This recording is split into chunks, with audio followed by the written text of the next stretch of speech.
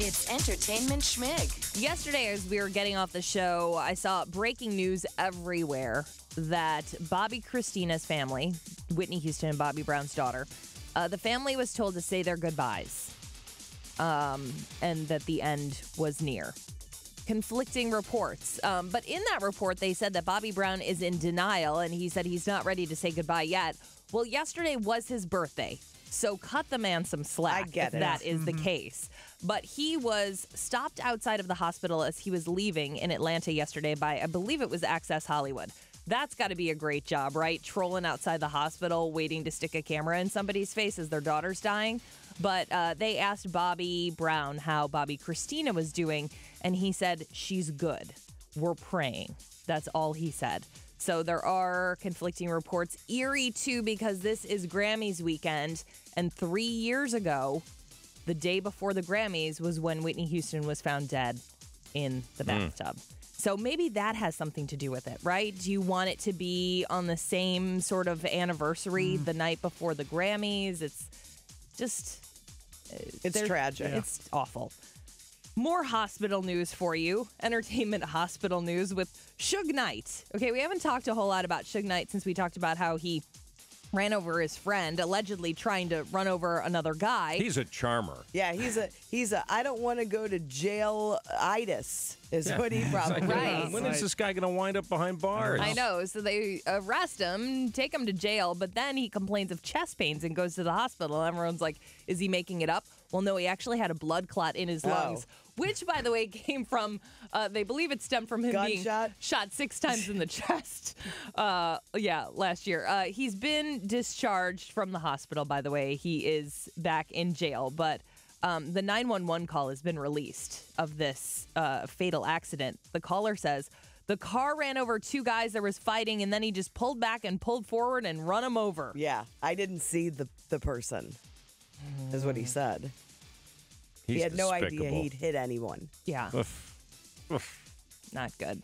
Not good. I w- I don't wouldn't want to be there when the karma train pulls up to the station for Suge Knight. You know what though? I would not say any It'd of this. It'd be a drive-by train. right. I would not say any of this if we were on the radio in LA because he does scare me a little. Yeah. oh yeah, If this could get back to him, I would. he has, he has people too. Am I wrong? No, you're absolutely Frightening right. man. no. Okay. He's got folks here, you know. Well, that was Jen that said that itis line. right. Jen Myers. That's why I use a fake name. Uh, plus size model. We talked yesterday about how there's a plus size model featured in an ad in the Sports Illustrated swimsuit issue. Turns out there is an actual plus size model featured in the whole photo spread in SI's swimsuit issue. First plus size model ever. And I was trying to think of her name yesterday. Her name is Robyn Lawley. She's a size 10. I know. I'm going to. What? She's a size 10. When is that plus size?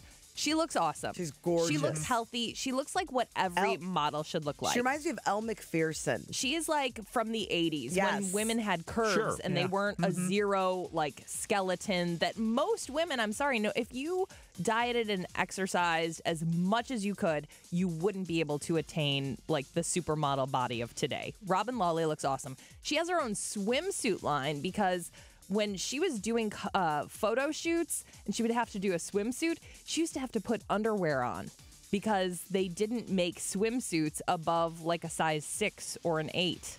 So she decided, you know what, I'm just going to make my own swimwear line. And it's hugely successful now. It runs from like size 8 to size 22 or something. It's really cool. You should follow her on Instagram because she posted some of the pictures from Sports Illustrated from the photo shoot. We have them up online now at y98.com. Yeah, swimsuits are not made for boobs either, unless they're fake boobs that can stand up on their own. I mean, you know what? There's nothing. There's no swimsuit. You have to get like a scoop. You don't understand. I don't, and uh, but I'm fascinated. I really, I'm, I, I like the way the scoop. You have the scoop, and then your boob hangs below the scoop, so it's like this weird boob, and then b- Yes. below boob. We call it a boob scoop. Jupiter Ascending, the SpongeBob movie, and Seventh Son in theaters this weekend. Next weekend, leave your whips at home. Fifty Shades of Grey, a lot of theaters will not allow you to bring um, costumes or Oh, I was different things. I just got a new Cat O' Nine Tails.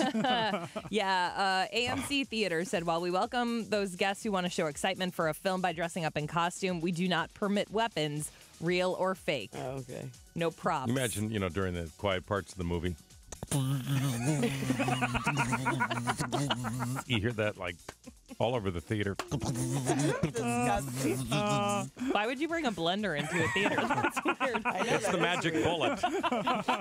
Oh, I think there's one of those too. TV uh-huh. this weekend, the series finale of Red Band Society tomorrow night on Fox. Sunday night, the Grammy Awards. LL Cool J hosts. I threw up my It's TBT with great. LL from like. I don't even want to say how many years ago, 15. Uh, Walking Dead returns on Sunday night, followed by the series premiere of the Breaking Bad spinoff, Better Call Saul. It's Yeah, I'll tune already into here. that. Looking forward to try it. it. Yeah. It's going to be good. That is Entertainment Schmig. More at 840 and online at y98.com.